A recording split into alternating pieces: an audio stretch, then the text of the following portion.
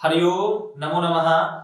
आप सभी का बीएचयू पाठशाला में हार्दिक स्वागत है। मैं हूँ अभिषेक भार्गव। जैसा कि आप सभी को विदित होगा ही कि जो सेंट्रल यूनिवर्सिटीज हैं, केंद्रीय विश्वविद्यालय हैं, उन केंद्रीय विश्वविद्यालयों की अब एकल परीक्षा हो रही है, जिसमें इस एकल जो परीक्षाएँ हैं, उसमें कई सारे विश्वविद्यालय हैं, सभी को एक साथ करके एक परीक्षा हो रही है। तो हम लोग यहाँ पर जो पीजी की जो परीक्षा हो रही है सीबीटी जो पीजी की परीक्षा हो रही है, उसमें जो विषय है हमारा संस्कृत। उस संस्कृत विषय को लेकर के हम लोग थोड़ी चर्चा और परिचर्चा करेंगे।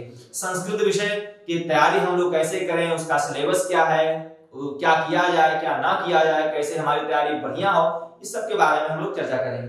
तो जैसा कि आप देख पा रहे होंगे हमारे पीछे बोर्ड पे संस्कृत का जो सिलेबस है सीवीटी के अनुकूल सीवीटी के अनुसार जो सिलेबस है वो सिलेबस का हम लोग आज थोड़ी बहुत डिस्कशन करेंगे, चर्चा करेंगे, ठीक है?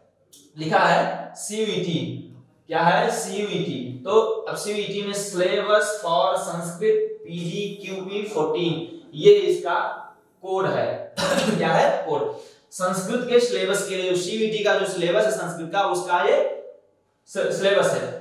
तो इसमें जो पहली इकाई है, उस पहली इकाई के बारे में हम लोग चर्चा करते हैं। और पहली इकाई क्या है? संस्कृत साहित्य का इतिहास। सबसे पहले जो पहली इकाई सीवीटी में संस्कृत पीजी के लिए, वो है संस्कृत साहित्य का इतिहास। हाँ एक बात और, जो संस्कृत का पीजी का होगा ना, परीक्षा होगी पेपर होगा उसमें जो 25 क्वेश्चन आते हैं, वो फ़र्स्ट पेपर के हैं और जो सेकंड क्वेश्चन पेपर आएँगे, वो संस्कृत के होते हैं, जिसमें 25 क्वेश्चन फ़र्स्ट पेपर के और सेकंड जो 75 क्वेश्चन रहेंगे, वो संस्कृत के रहेंगे, जिसकी ज़िम्मेदारी पूरी मेरी है, क्योंकि मैं बीएचयू पाठशाला में, आप सभी के लिए मैं तैयारी कर रहा हूँ, आप सभी से निवेदन है, आग्रह है, और आप सभी को ये सूचना भी दे रहा हूँ कि बीएचयू पाठशाला का कोर्स शुरू हो चुका है संस्कृत का, इसलिए आप लोग शीघ्र ज्वाइन करें। ठीक है, आइए हम लोग सिलेबस देखते हैं।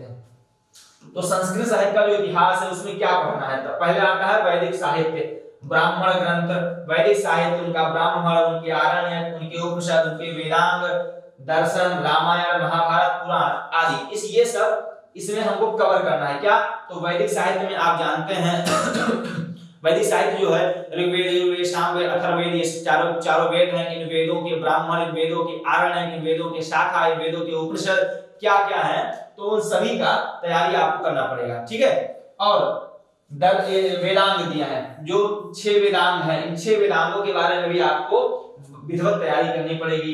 इधर आता है दर्शन, ये दर्शन मात्र लिख देने से आपका तीन तीन नास्तिक दर्शन और छह आस्तिक दर्शन, वो सब आ जाते हैं। जैन, बौद्ध, ये सब आ जाते हैं, आपका न्याय वैशेषिक मीमांसा वेदांत इत्यादि, ये सब दर्शन में आते हैं। तो आपको इन सबका विशिष्ट अध्ययन करना पड़ेगा। अब दर्शन में आपको सांकारिका भी पढ़नी पड़ेगी। सांकारिका के अतिरिक्त आपको अर्थ संग्रह हाँ थोड़ा बहुत अर्थ संग्रह भी देखना पड़ेगा।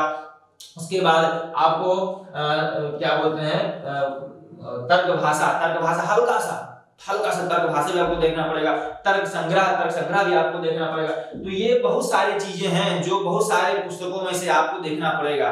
और फिर रामायण आपको देखना पड़ेगा, रामायण क्या है, किसने लिखा, क्यों लिखा, कैसे हुआ, कितने कांड है क्या क्या विषय वस्तु है, इसकी सब के बारे में जानकारी आपको लेनी पड़ेगी। ठीक इसी प्रकार से महाभारत, उसके बाद पुराण पुराण क्या है, पुराण क्यों कहते हैं, पुराण कितने हैं, पुराण किसने लिखा, रचे गए हैं, नहीं रचे गए हैं, पुराण में कितने कितने पुराण हैं, पुराण के लक्षण क्या, ये सब जानकारी आपको करनी पड़ेगी।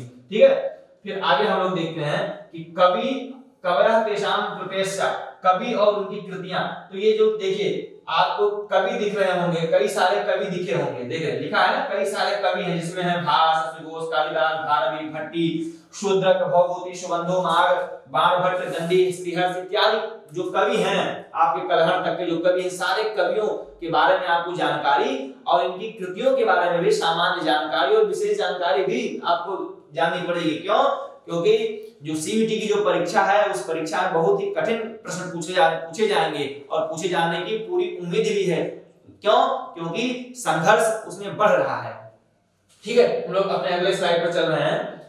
इकाई दो, ये जो सिलेबस है चार इकाइयों में बटा है। पहली इकाई हम लोगों ने देखा दूसरी इकाई है संस्कृत व्याकरण। दूसरी का है संस्कृत व्याकरण, का है संस्कृत व्याकरण में आपको शब्द रूप, धातु रूप, संधि, समास, कारक, स्त्री प्रत्यय कृदंत तद्धत इत्यादि को देखना पड़ेगा। आप लोग समाज इत्यादि पढ़े होंगे, नहीं पढ़े होंगे तो बीएचयू पाठशाला का ज्वाइन कोर्स ज्वाइन कीजिए, उसमें सारा आपके लिए मटेरियल उपलब्ध है। मैं अभिषेक भार्गव, आप सभी के लिए वहाँ पे पढ़ा रहा हूँ मटेरियल उपलब्ध करा रहा हूँ, ठीक है? तो आपको धातु रूप, संधि, समास, कारक, स्त्री प्रत्यय इत्यादि तद्धत ये सब बहुत ही बढ़िया से आपको पढ़ना पड़ेगा। पुनः हम देखते हैं जो हमारी इकाई तीन है। क्या है? तीसरी इकाई। तीसरी इकाई संस्कृत काव्य शास्त्र और छंद शास्त्र अब तीसरी इकाई में देखिए यहाँ पर छंद शास्त्र और काव्य शास्त्र ये ये आपकी जो तीसरी इकाई है, ये थोड़ी आपके लिए कठिन है। क्यों?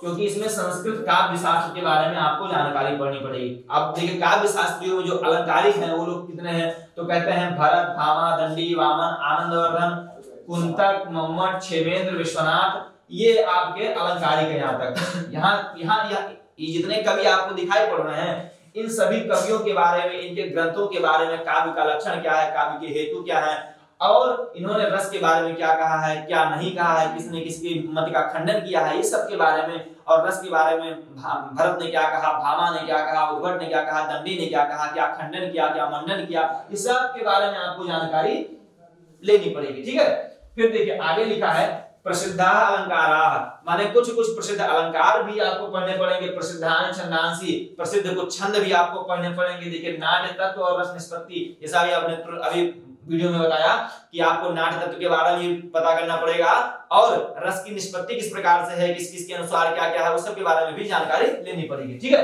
हम लोग पुनः चलते हैं, जो हमारी इकाई चार है और अंतिम इकाई है। ये अंतिम इकाई है इसमें आपको संस्कृत साहित्य, ये जो ग्रंथ लिखा है, संस्कृत साहित्य ग्रंथा, है, इसमें ये जितने कवि हैं ये नहीं क्षमता जितने ग्रंथ लिखे हैं, क्या है? ग्रंथ लिखे इन सारे ग्रंथों का आपका अध्ययन करना पड़ेगा आपको। इनका विशेष अध्ययन और सामान्य अध्ययन दोनों करना पड़ेगा। अभिज्ञान शाकुंतलम है, मेघदूत है, श्रीमद भगवत गीता है, उसके बाद भरतहरि की नीत सड़क है, देखिए जो नीत सड़क है भरतहरि लिखा है, और हितोपदेश, इस प्रकार से ये जो हमारा पार्ट दूसरा था। इस दूसरे पार्ट के अनुकूल हम लोग लेके आए हैं चूँकि